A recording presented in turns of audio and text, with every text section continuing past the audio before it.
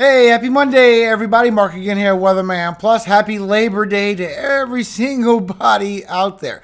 Now, I'm going to give you the latest tropical update because it's not over yet. We are seeing that crazy turn coming right back again. Matter of fact, the ensembles has not let go of this system at all, showing a very strong system is about to form, just like we've seen in the GFS as well. So I'm going to show you all the latest information in this video. That way you know what to expect on this upcoming tropical wave that we have. There's a good chance it could go right into the eastern Pacific, but there's so much warm temperatures over there and the pattern we're going into, it could get drawn right back again. Now, this is at the exact same time that we're going to have this cold front coming through. Now, is going to be a nice cold blast, but it's going to warm up every single day, and the warm temperatures are going to come back again. And I do have some good news. All week long, there is no severe weather.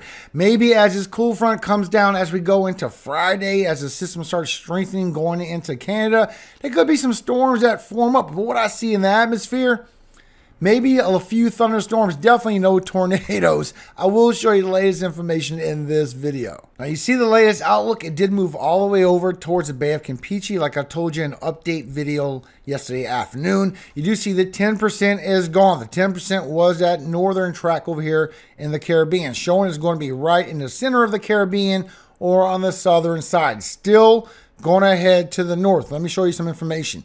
Still showing that when the system reaches the western Caribbean Sea and southwestern Gulf of Mexico late this week, over the weekend, the tropical depression could form. Fact, I'm showing stronger than a tropical depression, and it could still split into two. And we still have what's over the Gulf of Mexico, still bringing y'all that rainfall. It's only at 10%. It's not expected to form anything, but when that front comes down, it could help this and do something. Matter of fact, this could be part of the player that gets into this wave, and both together could create something that goes along that direction. Now, when you look with the latest of the Euro chance for a tropical depression, literally in five days, you can see how it starts building up right here towards the Yucatan. Then you can see the energy goes right over Central America and Mexico and possibly go out into the Eastern Pacific, still possibly curving right into the northwestern side of the Gulf of Mexico, potentially having two systems. You also see the update on a tropical cyclone probabilities showing it will strengthen up right before the Yucatan and possibly stay strong as it goes to the Bay of Campeche. Then after that, still showing it's going to head possibly to the north right after. So here we are literally in five days, showing you have up to a 60% chance just for the tropical depression to form before the Yucatan and go across and showing it could go right towards the Eastern Pacific. There's warm waters over there as well, but come right back again into the Bay of Campeche and possibly headed to the north after that. So when you go by the ensembles and see where they're factoring in, you can see with the Euro and GFS, they're both in agreement. Look at this. So as you literally go towards that 72 hours to four days, showing with the Euro that it more likely will start strengthening up with the ensembles and then traveling to the west. Now look at how that grows all the way towards six days headed north into the western Gulf of Mexico, actually showing a Cat 4, then showing it possibly weakening down. 944 millibars would be a Cat 4. So still showing we have a Cat 4 or stronger system potentially in the ensemble shown by the Euro, also shown by the GFS as we go into this common pattern. Look at this. It's not over. Waited on the update with the Euro. It only goes to 144 hours. This is your ensemble control member showing the same thing as previous run. This is going to start spinning up as you go to four days and beyond and start strengthening up as it goes towards the Yucatan. GFS ensembles takes it a little bit weaker, but agrees it starts strengthening up as it goes towards the Yucatan and seeing that west northwest push. This one curving out really quick. That could be right along the front, so we got to watch for that as well. But showing majority, just like the Euro is showing that this thing is potentially going to build up to something very strong into that Gulf of Mexico. Even the update with the GFS shows the same thing. In four days, just like the Euro, this is going to strengthen up right below Jamaica, already become a tropical storm, and travel to the Western Caribbean, possibly going down towards a hurricane as it approaches the Yucatan. Euro is showing this strengthening in ensembles as well. And look how it travels either to the east or to the west right afterwards. So, really, up to six days is really where everything starts getting wacky. So, this thing is far from gone. And the question is going to lie on speed. How soon or how slow this tropical wave is. The Euro takes it quicker where it goes right towards the Yucatan on the latest model runs. These do change dramatically.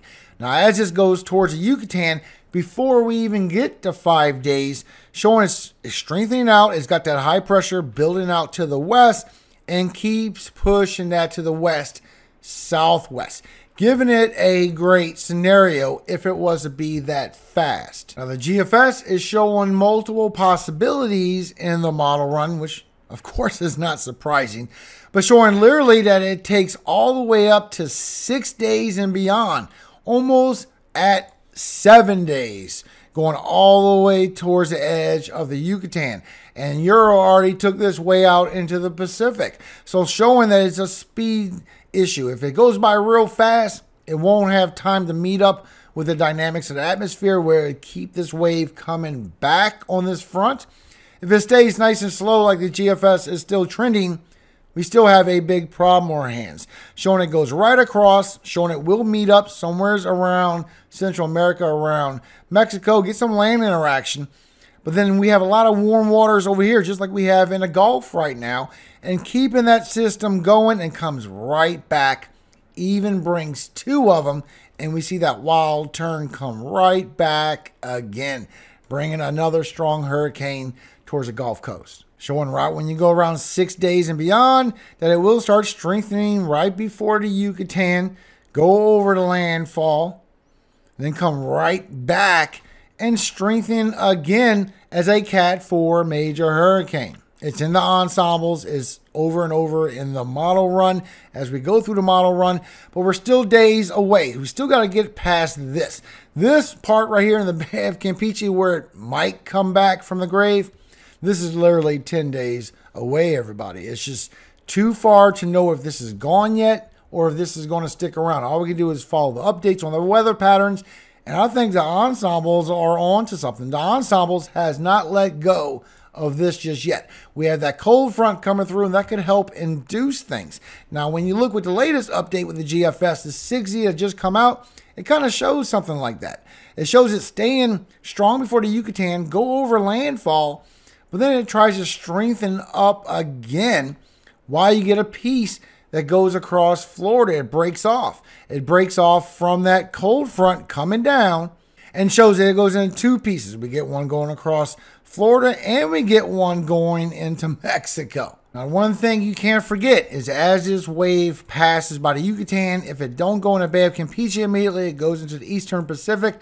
Look at the temperatures of the waters over there just as warm as the Gulf of Mexico. So if it came over into this direction, it would not weaken down. And if the high pressure were to stay over here, like we have been seeing, it would block it and push it back to the east. If it was far southern, it could pull it into the Pacific even further. So we're still days away from knowing what exactly is going to happen with this wave. It's not over yet. Still showing the latest update on your potential velocity anomaly that we're still going to see some strengthening as we go towards the 10th. So that's what we need to pay attention to. Still showing early teens, late teens, late September, and something big in beginning of October.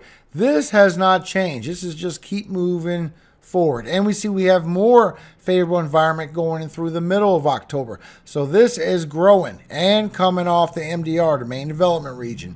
Stronger systems coming. Now, the good news when you look at your cape, when you look at your lift, all week long as we get this cool front, it is going to be some warm temperatures as well. You can see as this cold front comes through, we have no severe weather all week.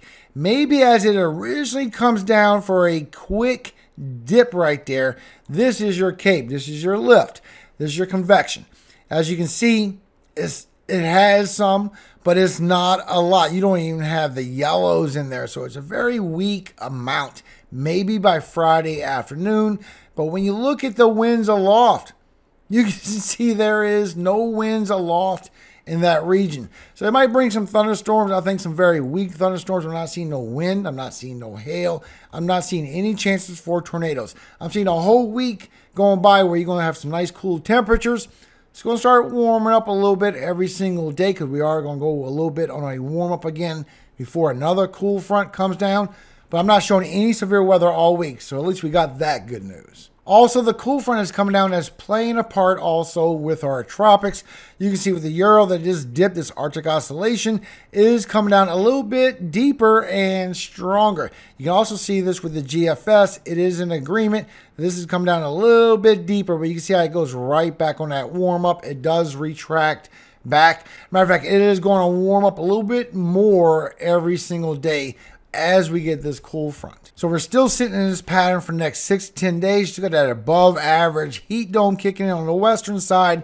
Unfortunately, you're still going to be feeling it in Florida as well, while you're in the average temperatures in the white and below average temperatures in the blue. And once again, this is bringing in those 40s and maybe even some 50s and 60s along the south. So starting off on the 7th, this Saturday, here comes some cooler temperatures coming through, bringing in some 40s all the way down to the south. You could be feeling like you're in the 60s. But once again, your high temperatures, you got that big high heat dome, that big ridge on the western side, lower 48, bringing 80s all the way into Canada, over 100 degrees, still over the southwest, up to 110 bringing 90s very high, even across the south and the southeast, bringing those high 80s and the 90s coming back again. Sunday, this comes down again, bringing even cooler temperatures. Just your best chance for the cooler temperatures to reach further towards the southern side, bringing 70s towards Texas, but bringing the 60s towards Louisiana, Mississippi, Alabama, some of Georgia,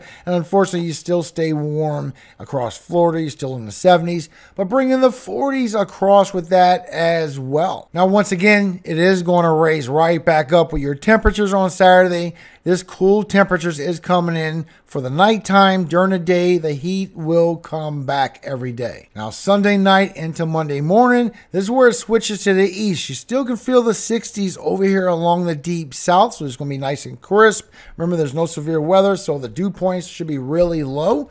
But over here for Ohio Valley, the Great Lakes in the Northeast, you're going to be in the 40s potentially as you go Sunday and Monday. But once again, for Monday, bringing that heat dome right back up. You're not going to be over 100 degrees, but you're still going to be in the 90s and maybe 100 for the Central Plains. But the 90s are coming right back again. Tuesday comes down again, brings some nice cooler temperatures, but now it's starting to move away. And you can see for Tuesday the 10th, it raises those temperatures right back up again. Now that sticks around all the way until Friday, all the way till next Friday on the 13th.